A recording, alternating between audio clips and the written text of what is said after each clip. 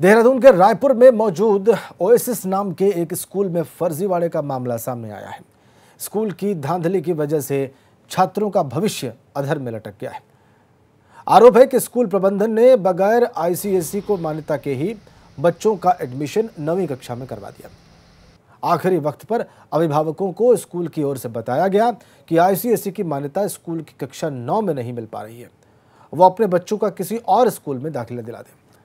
लेकिन अब आईसीएसई के पोर्टल पर दाखिले की तारीख खत्म हो चुकी है और ऐसे में बच्चों का भविष्य अब अधर में लटक गया है। देहरादून का मामला ओएसएस स्कूल का।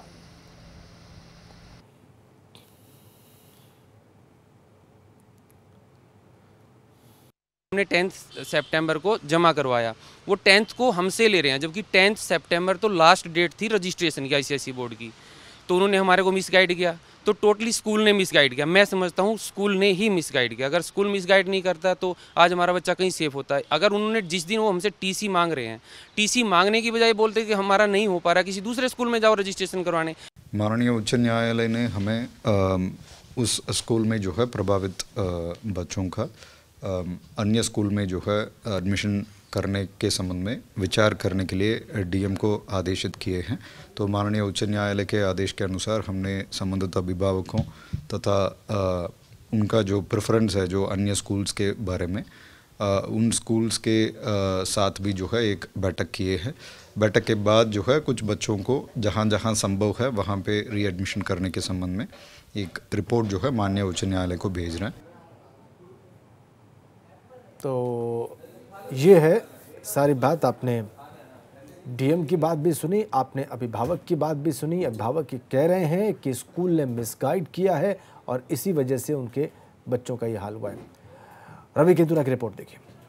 राजधानी के ओएसिस स्कूल जहाँ पर आईसीएसई की मान्यता ना मिलने से बच्चों का एक साल पूरा बर्बाद हो चुका है क्योंकि यहाँ पर पहले बच्चों को ये कहा गया था कि स्कूल को जल्द ही आईसीएसई की बोर्ड की मान्यता मिल, मिलने, मिल रही है और बच्चों को द्वारा यहाँ पर इंतज़ार भी किया गया था कि जैसे ही मान्यता मिलती है, वे कक्षा नौ में अपना एडमिशन लेंगे। लेकिन एन वक्त पर यह पता चलता है कि स्कूल की जो मान्यता है वो नहीं मिल पाई है स्कूल के द्वारा जो कुछ कागज़ थे उनमें देरी की गई है या फिर किसी अन्य कारणों की वजह से मान्यता नहीं मिल पाई।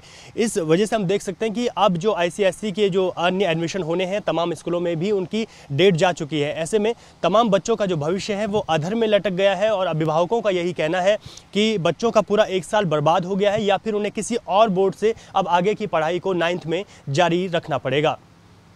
कैमरामैन क्रिस्टोफर लॉरेंस के साथ रवि कैंत्रा एबीपी गंगा, देहरादून।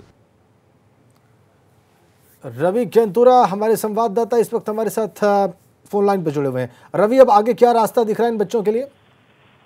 ये देखिए राजेंद्र, जिस तरीके से हम अपने दर्शकों को बता ही चुके हैं कि ये स्कूल में सिर्फ़ एडमिशन की ये होड़ रहती है प्राइवेट स्कूलों की कि बच्चे हमारे पास ज़्यादा से ज़्यादा आए और हम ये भी कह सकते हैं कि जो स्कूल है उस शिक्षा को एक व्यवसाय बना दिया गया है। यानी कि साफ़ तौर पर जो ओएसिस स्कूल है उसने ये तक नहीं सोचा कि अगर आईसीएसई की मान्यता नहीं मिलती है तो इन बच्चों का क्या होगा? बल्कि इन बच्चों को इंतज़ार करना पड़ा और एन वक्त पर इनको बताया गया कि आईसीएसई की मान्यता हमारे स्कूल के पास नहीं है। डीएम को इस मामले पर रिपोर्ट सौंपने के लिए माननीय न्यायालय के द्वारा कहा गया है। एक नवंबर को ये रिपोर्ट यानी कि कल न्यायालय को सौंपी जानी है। इस रिपोर्ट में यही है कि किस तरीके से संभावना बनाई जा सके कि जो बच्चे आईसीएसई बोर्ड पढ़ते हुए आ रहे हैं एट तक उनको अब नाइन्थ में भी अन्य स्कूल में मिल, मिल, मिल सके एडमिशन लेकिन राजेंद्र साहब बात यह है कि जो आईसीएसई का पोर्टल है वो उस एडमिशन के लिए वो बंद हो चुका है और इस वजह से हम पूरा इनका एक साल बर्बाद जो है बच्चों का हो सकता है पूरी संभावना है। लेकिन कोशिश की जा रही है कि इनको संभवतः कहीं दूसरे स्कूलों में एडमिशन दिया जा सके। अ, एक चीज़ मैं और भी इसमें ऐड करना चाहूँगा राजेंद्र की जो इस स्कूल के जो मालिक हैं जो ऑनर हैं मिस्टर ओबराय, उनके द्वारा भी संपर्क करने की कोशिश की गई, उनसे बातचीत करने की कोशिश की गई, लेकिन वो इस मामले पर कुछ भी बोलने के लिए तैयार नहीं है, यानी कि साफ़ है।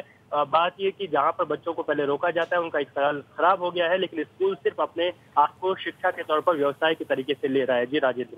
और रवि, अब चूँकि अब माननीय न्यायालय इसमें इन्वॉल्व है डिस्ट्रिक्ट मजिस्ट्रेट से रिपोर्ट मांगी गई है तो क्या उम्मीद की जा सकती है कि इन बच्चों का भविष्य बच जाए या जिस प्रकार की आशंका है, उनके अभिभावकों के मन में वो अब समाप्त हो जाए। जी, देखिए, कोशिश यही की जा सकती है कि अगर आईसीएससी का पोर्टल एक बार फिर से शुरू किया जा सके एडमिशन के लिए तो इनको एडमिशन मिल सकता है। लेकिन अगर आईसीएससी का पोर्टल एडमिशन के लिए नहीं खुलता है तो बच्चों को इस साल तो किसी भी दौरान जो है एडमिशन नहीं मिल पाएगा। तो इन बच्चों के पास सिर्फ़ एक ही विकल्प बचता है कि या तो ये यूके बोर्ड ओपन बोर्ड या फिर अन्य आईसीएससी के द्वारा जो है ये आगे की पढ़ाई को जारी रख सकते हैं। राजेंद्र जो जिस तरीके से अगर पोर्टल बंद हो गया है तो आईसीएससी का तो वहाँ पर जो है इनको एडमिशन नहीं मिल पाएगा। तो सीबीएसई के ज़रिए जारी रख सकते हैं, माफ़ कीजिएगा। रवि स्कूल प्रबंधन का क्या कहना है? वो इस बारे में कोई उत्तर देने को तैयार है?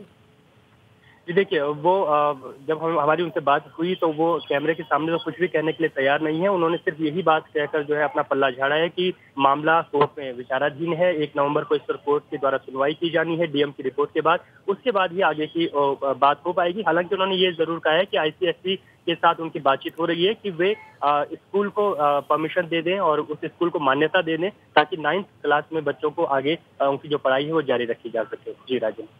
और रवि आपके ज़रिए मैं दर्शकों को भी बता दूँ कि इस बारे में हमने शिक्षा मंत्री से बात करने की कोशिश की उत्तराखंड शासन के, लेकिन उन्होंने एबीपी गंगा का कॉल आंसर नहीं किया है यहाँ पर। तो इससे पता चलता है कि बच्चों को भविष्य को लेकर कितने गंभीर हैं ये सारे कंसर्न लोग, ये सारे जिम्मेदार लोग। बहुत धन्यवाद आपका रवि केंद्रा। ओएसिस स्कूल, कुछ भी कहने को तैयार नहीं। वो कह रहा है कि न्यायालय में मामला है, जिलाधिकारी को रिपोर्ट देनी है। कल ही जिलाधिकारी की रिपोर्ट न्यायालय पे जानी है। अब देखना है कि उस रिपोर्ट में वो क्या कहते हैं और क्या रास्ता निकलता है इन छात्र छात्राओं के लिए। सबसे पहले खबरें पाने के लिए एबीपी गंगा को यूट्यूब पर सब्सक्राइब कीजिए। फेसबुक पर लाइक कीजिए। फेसबुक पेज है www.facebook.com/abpganga ट्विटर पर भी फॉलो कीजिए। हमारा ट्विटर हैंडल है twitter.com/abpganga